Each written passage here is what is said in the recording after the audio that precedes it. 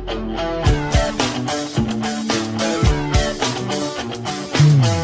this pink ribbon off my eyes.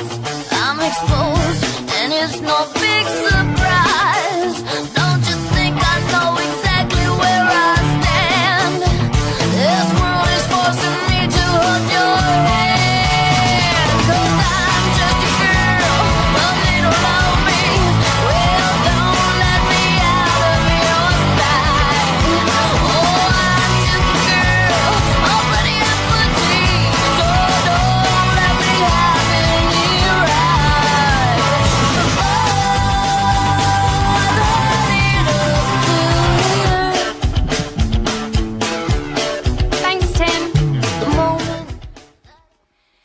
If he pulls your hair, he likes you, is what I was always told.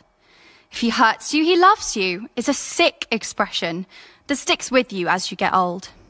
It's bossy the way you ask for things. The boys, they're just being assertive. Well, those same little boys, when older, will learn to use means that are more coercive. You like pink? That's girly and gross because colours apparently matter. I was told that by kids and adults alike, and my parents were one of the latter.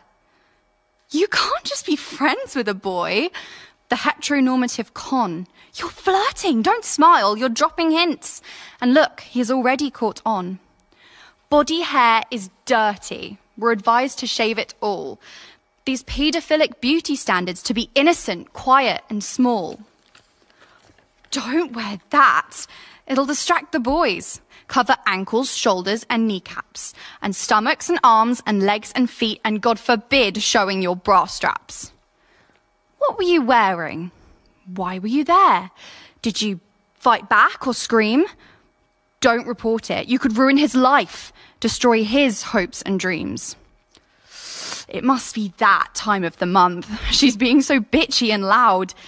We were taught that showing how angry we are for women is just not allowed.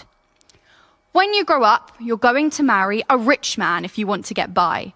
Again, heteronormative, offensive, misogyny, and on top of all that, a lie. Catcalling is a compliment. Give us a smile. We shuddered, ran away, and hid because none of it could ever prepare us the things we were told as a kid.